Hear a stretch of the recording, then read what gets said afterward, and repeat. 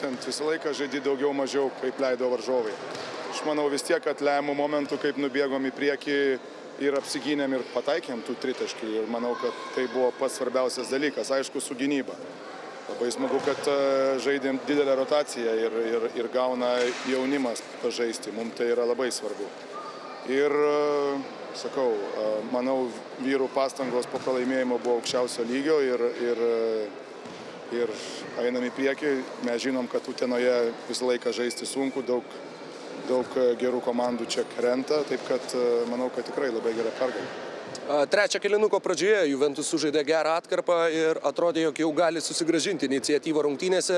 Kaip pavyko perlaužti rungtynių eigą? Vis sakau, su gera gynyba ir su kažkiek pataikytais tritaškiais. Dėka geros gynybos kažkiek tai pabėgom ir gavom laisvų metimų. Sakau, tikrai lengva čia niekada nebūna ir nesitikėjom lengvos, lengvos pergalės ir vyrai ėjo kauti šimta procentų.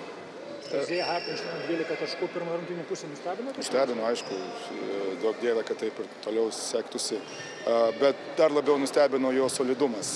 Sakykime, išpildė visas gynybinės taisyklės, praktiškai niekur nevėlavo. Tai jeigu žmogus atlieka tokį darbą, kartais tų 12 taškų ir nereikia. Svarbiausia, kad jisai tik tai nesimatytų su savo klaidom. Mes tik tai tiek iš jaunų žaidėjų reikalaujama, paskui jie vis tiek patirties įgaus ar kažkas tai bus iš jų daugiau naudos.